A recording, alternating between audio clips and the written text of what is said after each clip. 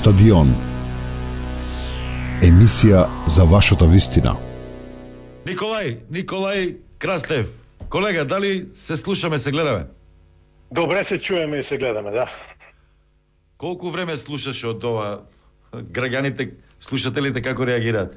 Десетина минути Па, или? гледам, да, слушам, да. Ми 7-8 минути веќе слушам и наистина многу различни мненија Интересно. може човек да чуе, да. Ете, моја девиза е дека подобро да се зборува, ќе се испукаме вака и ќе си легнеме на брашното поле. Најдобре е така, тука да се наговориме и да сврши таа работа и да нема други Е, вака, проблеми. јас нема да ве преведувам, затоа што ќе се обидете и вие да мешате малку македонски, Апсолутно, српски. не е проблем за мене тоа. Да. Е вака. Василев, ова е Крастев, вашиот колега Василев, и со него комуницирав, па затоа сега ми падна на памет. Е проблем. велите, вистински непријатели на зближувањето меѓу Бугарија и Македонија се Србија и Русија. Така е, јас така размислувам дека Србија и Русија се они кои денеска не им се многу, така да кажем, бендисува а, добрите односи кои почнаа 2017 година меѓу Бугарија и а, Република тада Македонија, сега Северна Македонија. И јас размислувам дека треба да тргнеме тие тие проблеми од нас и да направиме тие односи да бидат е, малце подобри сега, пошто сега моментално не се баш така, ама има надворешни фактори кои денеска не гледат добро на, на Бугарија и Македонија. Вие сте новинар, ова го знаете добро, сте биле дописник на Бугарското национално радио од Белград, од Москва, заради тоа и ве прашав и го потенцирав ова прашање. Да. Вака Крастев, велите зошто да се караме ајде да направиме автопат Скопје Софија кој ќе се Па вика да, Гоце којто да Делчев. се нарекува Гоце Делчев. И тоа нас ќе ни спаја секи ден и во секи момент. Има еден проблем, Николај, во тоа. Петар е тука. Да, да, познате Петар. Не можеме да се договориме кој ќе ја земи провизијата од автопатот. Не, ќе се Кој политичар од. Македонија или од Бугарија? Или полесно ќе се договорат за тоа. За тоа, Ќе за се намери ќе се. Ќе намери, да. Ќе се намери кој. Ќе се намери, тоа не е проблем. Знаете зашто е прашав ова?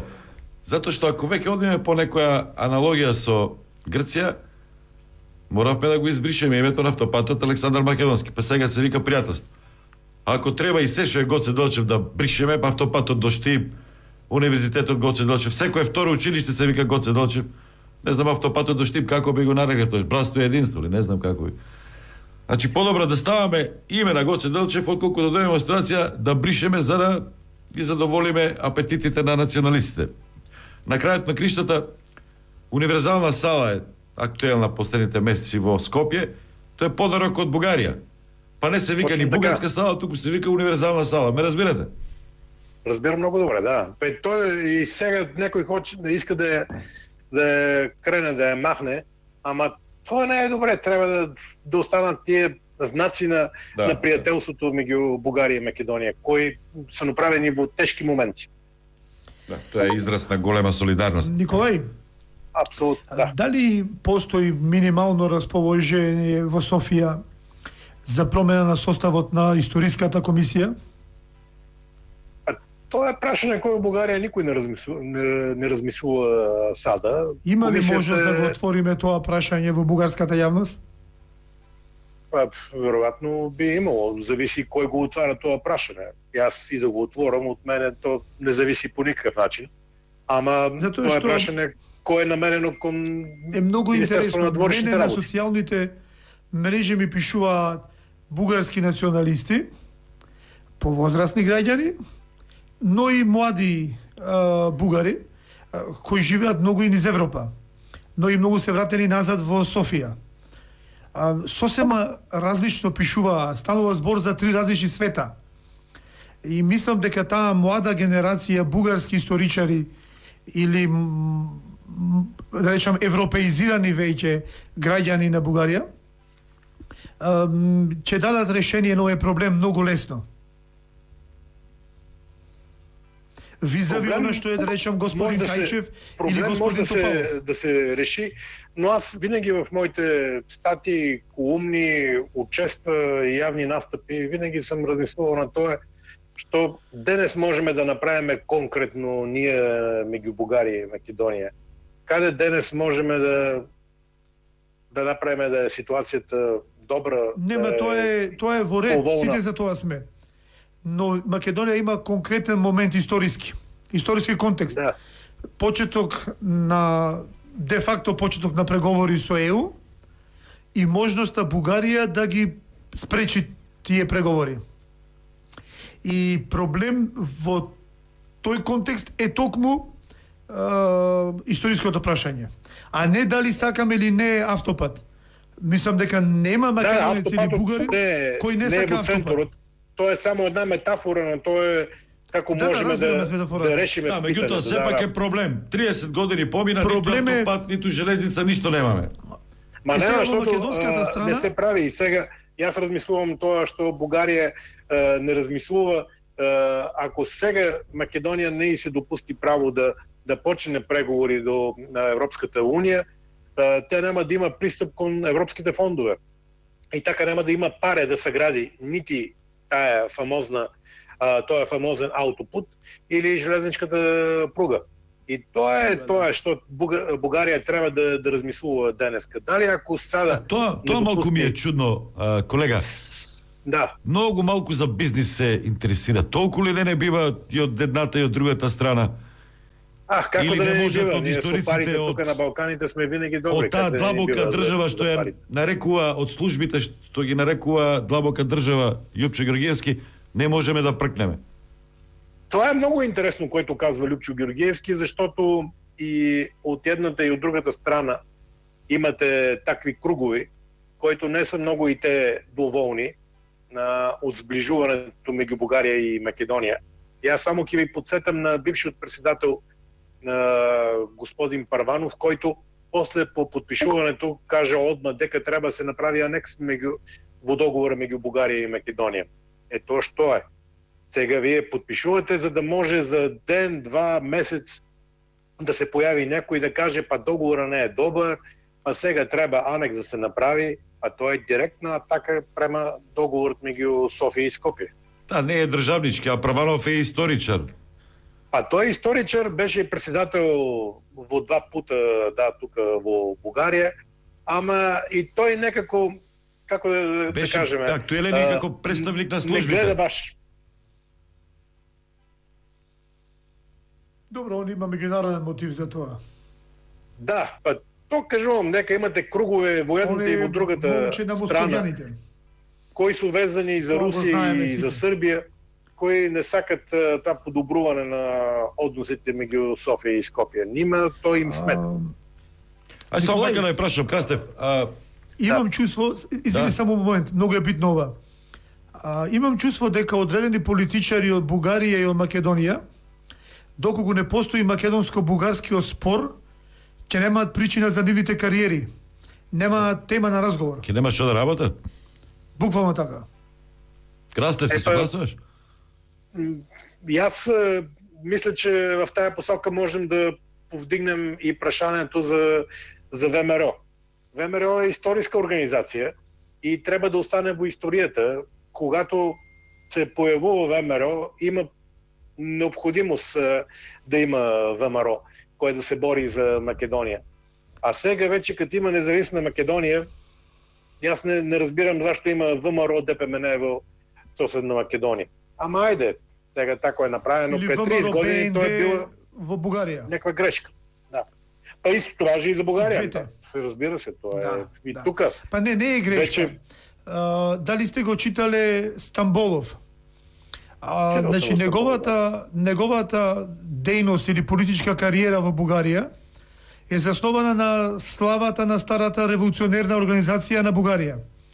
После неговата диктатура, бугарските учени констатираа дека поминал во времето на револуцијата, создадена е Бугарија и треба да се остави на историјата револуционерното минато. Да не се злоупотребува политичарите.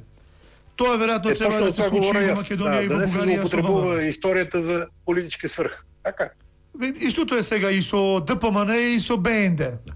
А Крастев, ова со бизнисот Така и тоа го начна Георгиевски неостварени бизнис делки, па заради тоа можеби вашето правителство на чело со Борисов е луто. Значи се споменуваше Телеком, се споменуваше и Комерцијална банка. Јас, според тоа што го знам, стануваше збор за купување на мобилен оператор во Бугарија од страна на Келер на Чехот. Тој подосна го купи и системот телевизиски и радиостаници нова, така. Откако претходно не му дозволија Тој купи, тој купи BTV. Сакаше нова, BTV, ама а не му дозволија нова, така. Да, да. да. Не му дозволија. Нова И сега веќе влезе во власништво во BTV пред е, неделја или две, мислим така беше. После долга провера, после тука нашите надлежни органи и така. Сега веќе тоа е власништво. Можноста тој преку бугарскиот мобилен оператор да влезе и во Македонија, па се споменуваше и можноста некоја телевизија да се купи во Македонија, значи зборувам пред година, година и пол. Ма и Можно ли е тоа да Тоа се причините за ваквото заострување? во бугарската јавност нема такви така сознанија на тоа. Така може и да е така, може да не е така. Ми новинарите можеме да зборуваме за тоа, можеме да гледаме на тоа, ама за мен најбитното е друго нешто, што на, нема бугарски медиуми во македонскиот информативен простор. И тоа за мене многу така лошо, дека ние не може да се слушнеме секи ден, да се гледаме, да видиме кој како размислува и зашто така размислуваме. Кад немаме ние тие нашите аргументи да видиме што е така, ние за тоа се и не познаме добро. Немаме радио, може канал само 77 вашето радио се се слуша во тај дел на западна Бугарија кој е везан кон македонската граница. Од Кюстендил до Благоевград и надоле се чува. Ама јас би бил среќен да го слушам и тука во Софија. Мога да го слушам преку Да, тоа интернет. е проблем и јас го знам, бев во Советот за радиодифузија, така да, за жал, многу мал интерес има и на вашата Знаете, страна, односно кај медиумите така- ваши, има а многу мал интерес има и кај да нашите влегуваат кабелски оператори. во во Скопје во големите оператори. Ама има луѓе кои сакат па дај да гледаме да видиме дали нема бугарска пропаганда во тие бугарски телевизии. Па ајде лудек. Каква е таа пропаганда бугарска сега? Има нормални односи, едните ќе кажеме едно, вие ќе го одразите и тоа е тоа, ама нека да се гледаме, нека да се слушаме, нека да се опознаваме помеѓу себе. Ја Николај тоа е нашиот проблем. има друг Не се проблем. познаваме.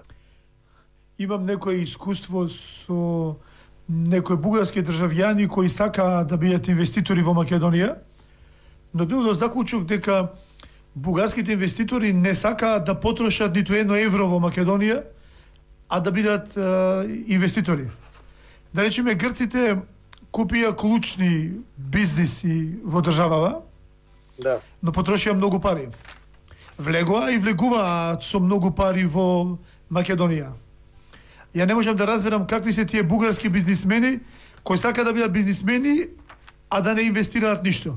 Односно да не потрошат денар. Тоа и за мене остава питане. Да. Крастев, вие се обидувате Да. поотворено да зборувате за... Имате ли проблеми таму во Бугарија? Ме, По јавниот не. дискурс некој да ве напаѓа. Сега Затоа што е, да. мора и вие да разберете, во Македонија тоа што го вели Јупче некој други порано беше на вистина ерес да кажеш Б. Така е, така е. Да Тоа го сум согласен. тоа со Така е, согласувам се Делчев. тоа. Каков однос кон вас имат, кон тие кои што зборуваат пореално и пообјективно во Бугарија? Дали сте мета на напад? Па, не, сега мене ме нарекуваат во тие мрежите, ме нарекуваат за ви, нарекуваат ме македонец, ама тоа мене ми не смета. Ако тоа е за доброто на бугарско-македонските односи, мене тоа ми не смета. Каква е моменталната мислам обштествено-политичка дека- слика во Бугарија? Дали може би тоа е основната причина на жештувањето сега што се случува? Идат избори, на Борисов Ајде, не му стојат избори баш најдобро. во Българија веќе стои Работите со рейтингот, се формираат нови партии, Славеј Трифунов националистички Да. расте, Цветанов, Така мислам дека и тој формираше партија поранешен Тој соработник близок да, да, на веќе формира партија. Борисов. Да, така.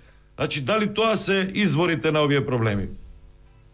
Па, видите, дневната политика е многу важен дел од, од таа ситуација. Во Бугарија веќе 105-106 дена се протестира и то многу така жестко се се протестира. Е, има напрежение во българското општество, за това защото во България има поводи за протести. Имате и корупција, имате и забу, забавување на некои а, така обществени процеси и то луѓето сака сака Бугарија да се мери со другите европски страни и со нашите партнери во Европската унија. Ама то не винаги се догаѓа, пошто и ние нашата економија не е тако јака како бихме желели, пошто на времето комунистите украде економијата во Бугарија на почетокот на транзицијата до 1996-98 година, докаде они влада, ситуацијата не беше многу добра и не беше многу добра економски. После тоа е благодарение на Европската унија и на влезот во НАТО, Бугарија направи многу големи чекори напред. И добиеше инвестиции на годишно ниво некде околу 6 до 7 милиарди. И то су добри пари. Ама всичко не може да се така да кажем навакса на брзо во таа ситуација. Ама сега Бугарија изглежда многу европски и тоа треба да знаат е, вашите граѓани. Дел од тех доаѓаат во Бугарија и виждат тоа. Ама во Бугарија не се прифатат добро и тоа дека има там таа ситуација со е, квалификувањето на, на бугарите, дека били фашисти, дека били патари, дека били такви они, па тоа не, не доаѓа сега. Не тоа е тоа, тоа е модерен однос едни кон другите. Добро, што пишува во учебниците, во учебниците а, бугарски за 41 година?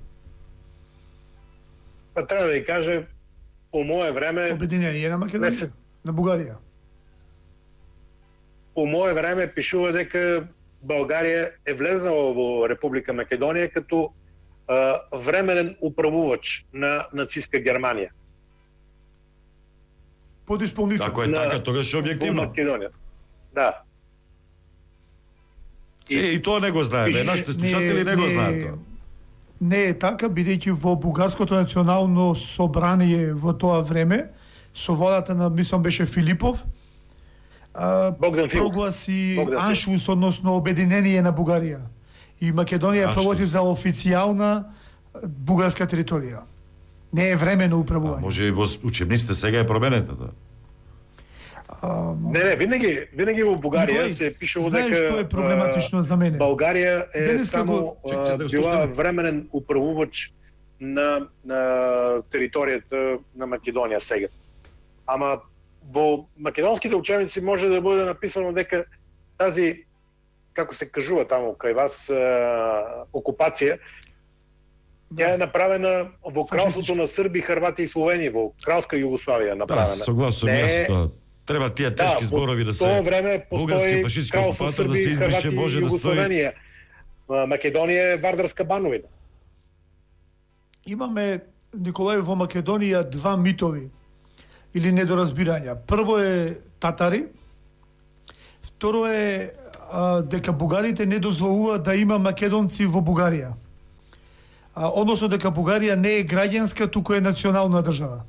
И тоа многу тешко ми оди мене да го објаснам во јавноста тука во Македонија, дека денес Бугарија е граѓанска држава и бугарин значи граѓанин нација, а, граѓанин на, на, на, на Република Бугарија. И од тука е проблемот на регистрација на етнички групи. Да, ќе го имаме Стојко. Стојков подоцна. А делот со татари, а, морам да кажам дека вината е на бугарска страна, односно бугарската историографија се повикува на првото бугарско царство и управувањето од хановите. Ние во Македонија тоа го учевме од, бу, од бугарската историографија. Во наше време се учеше дека а, Бугарија е создадена од татарските ханови и дека тоа е согласно бугарските историчари. Да, не, ама тоа не треба А да, да биде го навредливо, штото во јавните настапи видуваме луѓе кои некако само на тоа потенцират дека ние сме Не, раз- татари, Мислата дека ми ние беше сме дека дошли, ако, не знаеме ако дека бугарите дошли речат ние. не, ние не сме е, наследници на тоа царство или на тој тип на управување од таа династија на хановите, или не сме татари, ние македонците нема што тука да спориме. А, да не го задржуваме премногу. тоа и тоа е тоа. Крастев, Крастев, повели Да. со крат, краток коментар нова и кои се а, твоите очекувања, колега, со оглед на тоа што Ајте, бугарската страна сега настапува или ич или брич, или се или ништо. А, за... Јас мислам дека За, заради тоа што Еве Георгиевски имаме од четир- секогаш бил благопријатно 40 дена. расположен кон Бугарија. Штом тој Георгиевски еве во Бугарија беше и доста нервозно реагираше, значи на вистина некои структури ја претерале работата. Тој каже дека не знам колку е вистина тоа, 12 пати барале во еден текст да се потврди и да се потенцира бугарскиот карактер на Гоце Делчев со што тоа понижување сигурно нема да се согласат членовите на Македонската комисија. Не, моето мислење е дека треба малце време. Ние направихме една грешка. Не требаше комисијата да излезе напред пред јавноста и да да води своите седници. Требаше прво да се наполни грчката договорот со реално содржание. Требаше економија, требаше инвестиции да се направат, медии да се отворат, а даже ако сакате и бугарско-македонска медија да има, да има телевизија кој да известува во еден сат да известува со македонски вести, во друга во друг сат да има е, со бугарски вести, да има јавни настапи на бугарски и македонски новинари во една телевизија. Треба да се познаваме и опознаваме още повеќе, па то ние го изгубихме като време тие периоди. И тоа сега тешко ќе го надокнадиме во, во некаков е, смисел на, на думата. И треба на тая флоскула да, да стъпиме, на, на тая посока да, да, да стъпиме днес, за да можем да имаме а, добри отношения. А, аз не знам дали в а, Македония някой знае за гръцко-македонската комисия на историци. Мисля, че никой не знае, ама за бугарско, исто- там, да. бугарско-македонската комисия историческата много всички знаеме. И то е като едно време, по времето на комунизма в България, дека се зборуваше дека ЦК разбира од всичко, и од футбол, и од надворешна политика, и од историја. Така и ние сега малку се повторуваме таа ситуација. Ние сме едно колективно ЦК кој од всичко разбира, а не може.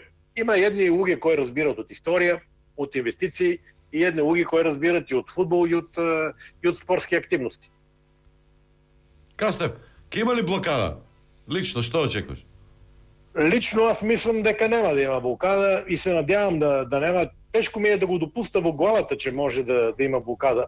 Бугарија да сопне Македонија, да спре Македонија и да ја блокира. Просто не ми се верва, че може, но треба да признае, че зависи как ще се развият нещата. 40 дена има. Гледах е, Каракачанов на Сител телевизия и той каза има 40 дена. Може да има и промена. Ама да видиме дали наистина ќе се случи тоа. Благодарам Николај Крастев, новинар колега од Бугарија, го имавме имавме чест да разговараме со него во изминатите 15-20 минути. Пријатно и да се видиме за добро во Скопје или во Софија. Реклами па се враќаме. Навсякъде винаги можем да бъдем заедно и това е, че ние трябва да вървим заедно и да се чувстваме еднакво добре и в Скопие, и в София, и в Пловдив, и в Битоля, и в Бургас, и в, а, и в Охрид и да бъдем едно. Ние сме едно културно и историческо и политическо пространство. Това трябва да разберем ние. Само морам да кажам нешто друго, ако се уште ме слушаш. Чувам, Добро чувам, е, да, например, добре. Преспав, серијата. Да, Тоа е тя се гледа в за сега България по единствена. един от каналите Се на емитува во. Бугарија, така? Така е, да. И како поминува добро. Нема Па добро, пречки зошто е на македонски се јазик. смеят, интересно име. И трябва да ти кажа, че това е пътят. Размяната на телевизijски серии. Докато бех сега во Имаме на и бугарска серија во Имаме и ние на. Алфа тука, да. Да, вие гледам, виждате също нашите а, серии. Па това е начина. Да. Културна дипломатија. Еве, Това е. јас не знаев дека сте имале толку добра продукција. Дека сте биле фраери добра за филмови, за серии. Како не? Ма во Бугарија имате многу добри добри продукции телевизиски, имате емисии кои може да се управуваат заеднички. Имаме толку многу шансови да, студио? да бидеме заедно. Не знам што некој не сака да бидеме направили во Софија. Не слушах добро? каде што снимаше Рамбо. Бојана, Бојана. А, и тоа имаше, да. Стадион. Емисија за вашата вистина.